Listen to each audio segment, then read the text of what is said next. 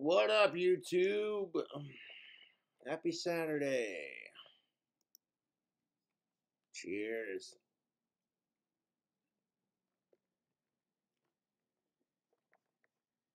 So, one of my uh, YouTube buddies filmed a bunch of anti abortion and Christian types. And the shit they say is fucking hilarious. Speaking of hilarious, Cobra's joke of the day.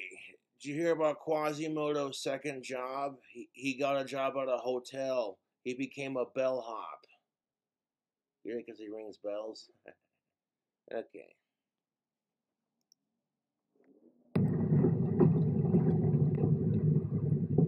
This is just fucking priceless, dude. Get away from my car, you close-minded fucks! Oh my god. So let's take a look at this. Yep, your typical. I see them here in town. They're like, abortion is murder. Stop for a prayer?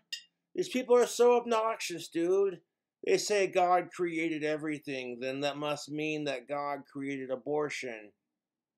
In the Bible, it also says, Judge not lest you be judged. Listen to what they say to Courtney. You guys, don't come up to my car. Don't walk up here. Don't walk up to my car. Yep. There is no God. Praise Lucifer. Praise. Ah, praise Lucifer. Woo! Get a job, you bum. Get a job, you bum. Praise Lucifer. They're looking like, what the fuck is this shit? They don't know how to take it. Okay, it's cool for the Christians to shove it in our face, but as soon as we do it to them, oh, you're heathenistic. Praise Lucifer. Woo! Get a job, you bums. Mind your business. What's an abortion is that y'all breathe the same air I do. That's the abortion. That's the true abortion.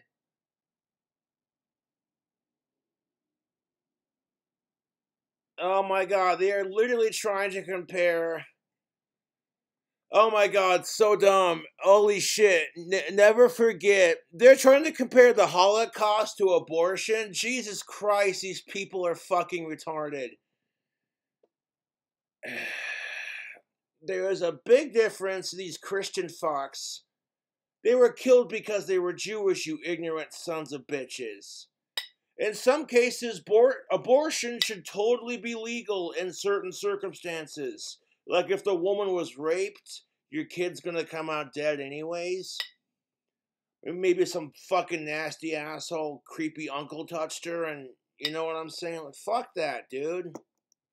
Right? Narrow-minded people. Narrow-minded people. Mind your business. Mind your business. We believe that the Word of God. Yeah, there is no God. There is no God. Praise Lucifer. Praise Lucifer. God, you wouldn't be so mad right Yeah, I'm furious, right? You wouldn't be wasting your time coming out here getting in people's business you have no fucking part doing. Good luck, y'all. Praise Lucifer. At one point, they were like, God will judge you for this. And I'm like, yeah, but doesn't the Bible say, judge not lest you be judged? Hypocrites, dude. Hypocrites and hymns. That's what that is. Not all Christians are like that, but I was like, Jesus Christ, these people are, are fucking mental. And what's worse is they drag their kids into it, and these kids are too immature to understand political issues like this. So dumb, dude.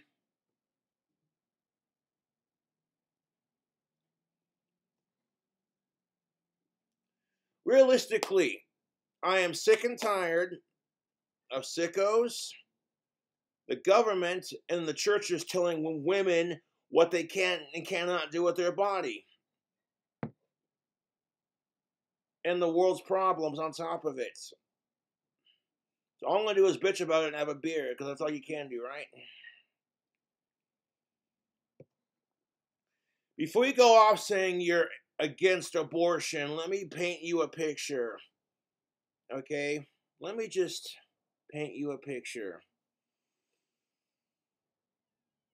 We're going to pick a random name. The Stevensons are excited for their new baby. But the ultrasound says the baby's going to come out dead in nine months.